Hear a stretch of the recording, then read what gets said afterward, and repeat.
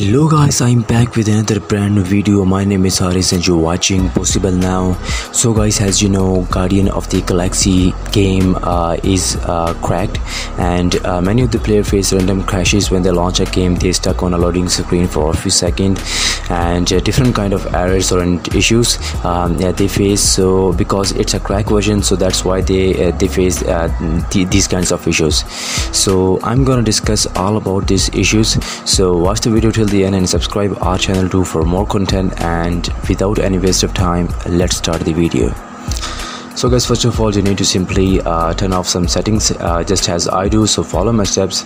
Go to your uh, research bar and in here you need to go to your settings. And now go to your privacy section and turn off all of these settings. In general 1 2 3 4 turn off all of these four settings down below. Uh, go to the background apps and turn off all the background apps running in the background. So after this get back and now move to the gaming section and uh, turn on game mode. Simply turn on game mode and the second step is you need to simply download the pack link in the description below and after download the pack then you need to simply extract the pack here and then open the folder open the pack folder and here you see there are um, a few folders. First go to your uh, dx folder and install dx12 in your system. Accept the agreement click to next install the Bing Bar it's optional so it's up to you. Click to next and wait for it. Maybe it takes few minutes so don't be panic guys. And if this video helps you like this video share this video and subscribe our channel too for more content now it's done. Click to finish get back and now move to the optimization folder for your CPU uh, these all are ready files for your CPU so run all of them one by one. CPU optimization CPU priority class disable power throttling game optimization increase CPU performance increase system responsiveness mid-high optimization port thread priority power optimization and in the end priority class. Okay. Now get back and now move to the lasso folder uh, and in here you need to extract first and then you need to simply install the 64-bit version. And after installation then you need to open lasso here it is. So guys in here you need to go to your main um, option and simply mark those settings ProBalance enabled. And the second one is active power profile set on high performance. Just mark these two settings and it's done. Now the processing is start and now close lasso get back and I move to the mini softwares. And in this folder there are uh, two parts. First go to the ISLC open the notepad first and read the instruction from here and then open ISLC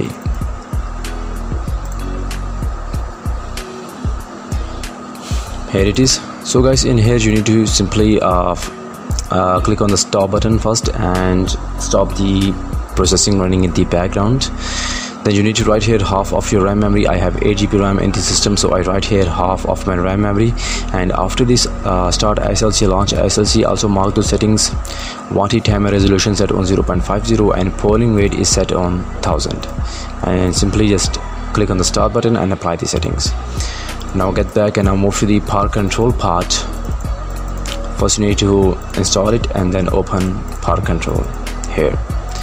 So guys in here you need to uh, first set on high performance and make sure click has a make active button down below disable all of these settings and after this just apply the settings click ok click to close. Okay now get back and now move to the quick cpu folder and in here you need to simply extract first and then install this um, quick cpu it takes maybe a few minutes so don't panic. And if this video helps you guys like this video share this video and subscribe our channel too for more content.